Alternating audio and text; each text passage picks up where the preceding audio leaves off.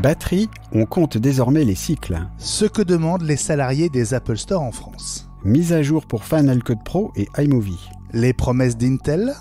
Satisfaction client, Samsung aussi bien qu'Apple. Mercredi 20 septembre 2023. Fabrice Neumann. Benjamin Vincent. La quotidienne iWeek épisode 461. Bonjour à toutes et à tous. Grâce au premier test, des détails intéressants sur la gestion des batteries des iPhone 15, on peut maintenant voir le nombre de cycles de charge et on peut également, Fabrice, choisir de ne jamais charger la batterie au-delà de 80%. Alors d'abord, euh, quel est l'intérêt de ne jamais aller au-delà de 80% Et puis comment on fait pour activer cette fonction? Alors à quoi ça sert C'est simple, euh, ça permet de moins user la batterie et donc euh, de, garantir une durée de vie plus longue, euh, puisque on sait justement que ça demande beaucoup d'énergie et donc ça fait chauffer plus la batterie de la charger entre 80 et 100%. On dit souvent que l'utilisation euh, optimale d'une batterie, c'est lorsqu'elle est entre 50 et 80% justement. Alors c'est très difficile de garder son iPhone euh, chargé entre 50 et 80 toute la journée. Mais voilà, donc c'est une c'est une euh, des nouvelles fonctions qui sont réservées, qui est réservée aux iPhone 15.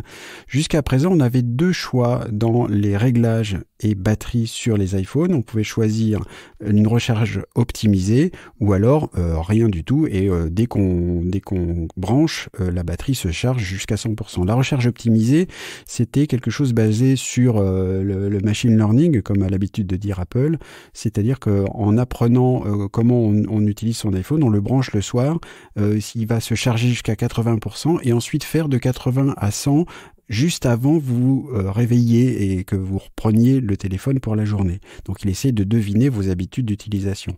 Là, cette troisième option réservée aux iPhone 15, euh, ça permet de choisir de ne jamais charger au-delà de 80%. Euh, je pense que c'est très utile quand on a plutôt un iPhone Plus ou un iPhone Pro Max qui a une grosse batterie. Peut-être qu'on peut se passer la plupart du temps d'une charge à 100% et puis désactiver ça, mais il faut y penser quand on part en voyage ou quand on est sûr de partir toute la journée, par exemple. Je croyais que le bon usage d'une batterie, c'était euh, de la charger à fond et de la vider complètement à chaque fois. Ah, pas du tout. Euh, ce n'est plus du tout comme ça depuis les lithium-ion, en fait. Euh, ça, c'est. J'ai le regret de te dire que c'était l'ancienne façon de faire et que justement, faire de 0 à 100 et de 100 à 0, c'est le meilleur moyen de les user prématurément. Donc c'est bien pour ça que c'est une bonne façon de laisser l'iPhone faire à ta place et de charger la batterie uniquement quand, enfin, à chaque fois que tu en as besoin et que tu en as envie. Merci de me faire sentir complètement idiot et de me rappeler que j'ai grandi à l'époque des batteries au nickel cadmium. Euh, je, je t'en prie, c'est avec plaisir. Le lancement de la gamme iPhone 15 en France risque donc d'être perturbé par l'appel à la grève de l'intersyndicale des salariés des Apple Store français pour vendredi, jour du lancement, et pour samedi. Une manifestation est d'ailleurs prévue vendredi matin devant l'Apple Store Opéra à Paris, sans doute devant d'autres Apple Store ailleurs en France aussi, parce que euh, il s'agit bien d'un appel à la grève nationale euh, et pas seulement parisien, après une rencontre infructueuse entre la direction et les syndicats mardi soir, Fabrice. Et on sait euh, depuis ce que demandent les salariés des Apple Store français.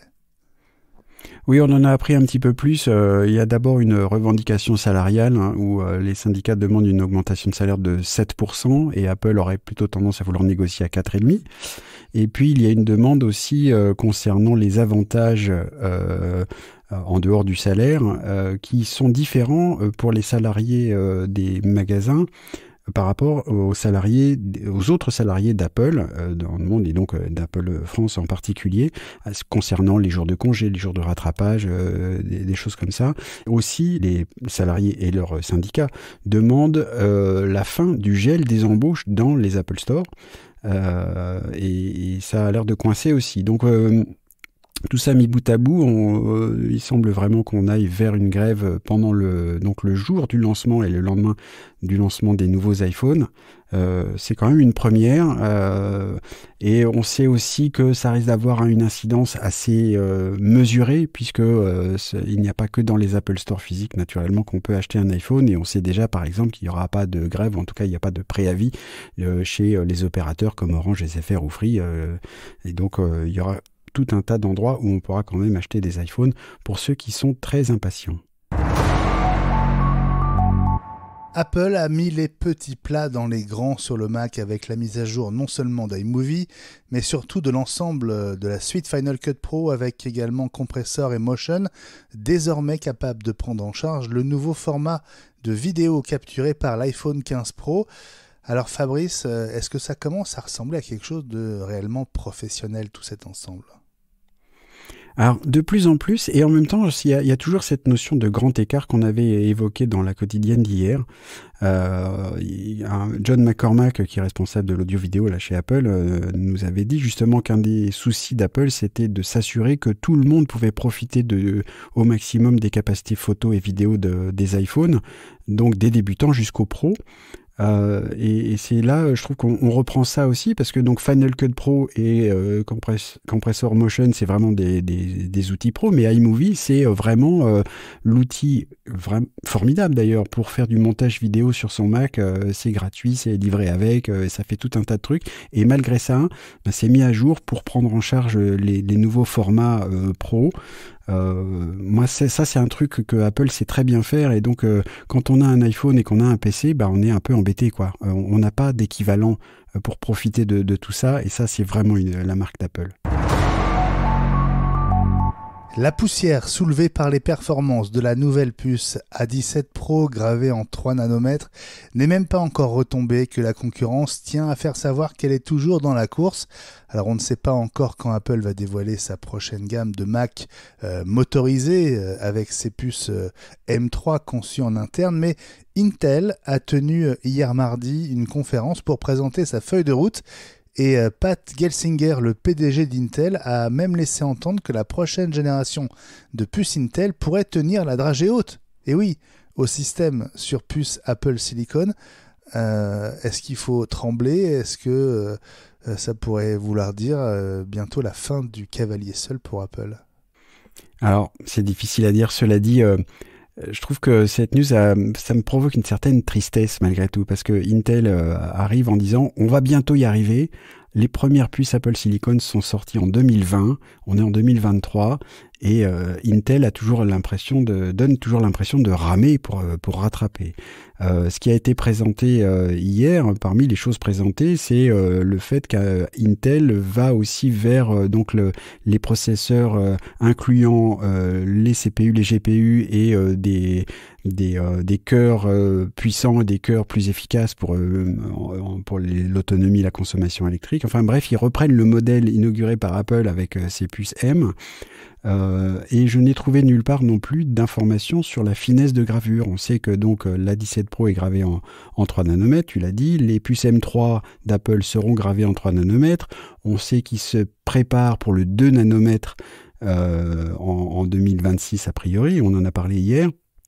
Et Intel, on sait qu'ils ont eu du mal à passer de 14 à 10 et finalement on ne sait pas trop où ils en sont aujourd'hui. Donc euh, Intel, qui était la marque des processeurs euh, il y a 20 ans, et, a du mal à, rattraper un, retard qui s'accumule. Samsung rejoint Apple en tête du test de satisfaction des clients américains, plus un point pour Apple qui occupait seul la première place depuis 20 ans et qui la partage donc cette année avec Samsung, plus deux points. Alors Fabrice, toi qui as l'habitude dans tes activités de consultant notamment de côtoyer les deux mondes, est-ce que euh, Samsung aurait trouvé la formule magique ou est-ce que on est plutôt euh, dans ce qu'on peut considérer comme euh, la marge d'erreur? Alors j'aurais envie de choisir la, deuxième solution, sachant que l'année dernière on y était déjà dans la marge d'erreur. Si on est en retard entre guillemets de 1 point ou 2, c'est qu'on est à peu près pareil. ce à quoi cette news m'a surtout fait penser, c'est que j'ai imaginé Tim Cook dans son bureau en train de lire la news en question et à pousser une gueulante en disant qu'est-ce que c'est ce bazar? Parce qu'il adore se rengorger de la customer sat quand il est sur scène, quand il était sur scène en disant euh, les gens euh, qui utilisent des produits Apple sont toujours très contents, c'est formidable. bon, j'ajouterais aussi que j'ai toujours un doute sur ce genre d'indice de, satisfaction parce que quand on demande aux gens s'ils sont contents du produit qu'ils ont acheté, c'est quand même très rare de trouver quelqu'un qui dit ah bah ce que j'ai acheté c'est de la merde parce qu'on vient de dépenser des sous et donc euh, on se dit quand même bah non c'est bien puisque je l'ai choisi. Donc ça me paraît pas très euh, très intéressant comme indice. En tout cas, ce qui est sûr, euh, sans, trop s'avancer, c'est que Samsung va s'en servir. Oui, bah, grand bien leur face, c'est très bien. et Samsung, ils font des bons produits d'ailleurs. Ça fait longtemps quand même que les, les Galaxy, notamment haut de gamme, parmi les, les choses euh, on, a beaucoup parlé de euh, l'iPhone 15 Pro Max avec euh, son zoom 5 fois par exemple. c'est des choses que les, utilisateurs Android connaissent depuis plusieurs années déjà. Donc voilà, il y, a, des choses comme ça qui font que le choix du haut de gamme Samsung se, comprend très bien. ça, doit, ça doit jouer sur l'indice qui progresse pour Samsung notamment. Et puis une dernière info soufflée par notre ami Thibaut du compte euh, X Twitter à Apple TV FRA. L'épisode 7 de la seconde saison d'Invasion, d'invasion donc en français, a été publié par erreur deux semaines plus tôt que prévu sur MyCanal. En effet, c'est l'épisode 5 qui devait sortir aujourd'hui, il est d'ailleurs arrivé, et l'épisode 6 est prévu mercredi prochain, le 27 sur Apple TV+. Donc l'épisode 7 a, été mis en ligne par erreur. Il a été retiré depuis par Canal, mais il reviendra, si tout se passe comme prévu, euh, le 4 octobre, la quotidienne iWeek. Reviens demain.